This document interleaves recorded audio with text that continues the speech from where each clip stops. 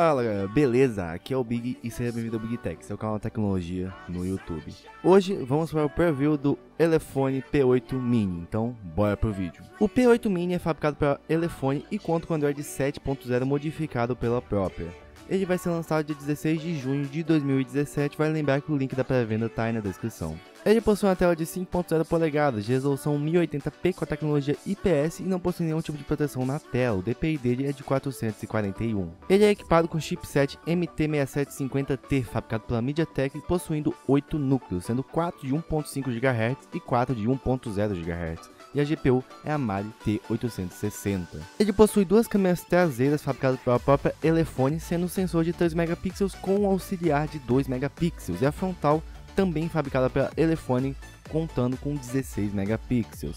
Vale lembrar que a traseira consegue gravar a 1080p a 30 fps. Ele possui 4 GB de RAM do tipo DDR3 e uma memória interna de 64 GB, expansível até 128 GB por meio de cartão SD. Falando em cartão SD, você tem que fazer uma escolha, porque ele possui uma baia híbrida, ou seja, você pode usar dois chips ou abrir mão de um chip para usar um cartão SD, assim usando um chip e um SD. O Bluetooth dele é o 4.0 ele possui Wi-Fi, GPS, 4G e entrada micro USB 2.0 para carga e transferência de dados. Na parte de sensores, ele conta com biométrico na parte de trás do dispositivo, o de proximidade, o giroscópio, o acelerômetro, o sensor de luz e a bússola. Sua bateria tem capacidade de 2.860 mAh, fabricada pela própria Elefone, não possui quick charge e a bateria não é removível. Seu design conta com botões físicos, o corpo metal, o alto-falante na parte de baixo e um peso de 133 gramas. E vamos ao valor prós e contras do dispositivo. Bem, está sendo encontrado por 470 reais nos links da descrição, dá uma olhada aí. E quais seriam os prós dele? Primeiramente, duas câmeras, que muita gente vem querendo smartphones com duas câmeras. É um atrativo bem legal nele, pelo preço ainda.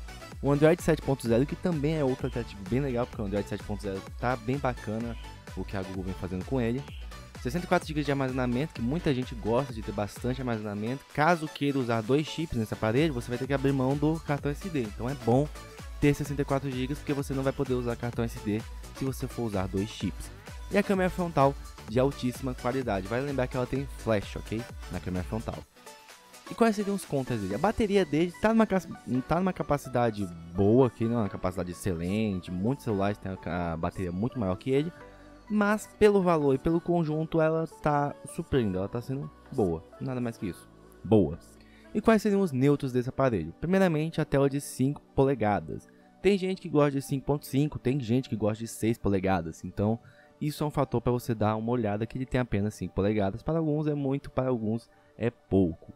E a biometria traseira, que muita gente gosta da frontal, prefere usar a frontal do que a traseira, então é outro ponto para você ficar ligado que a biometria dele é traseira.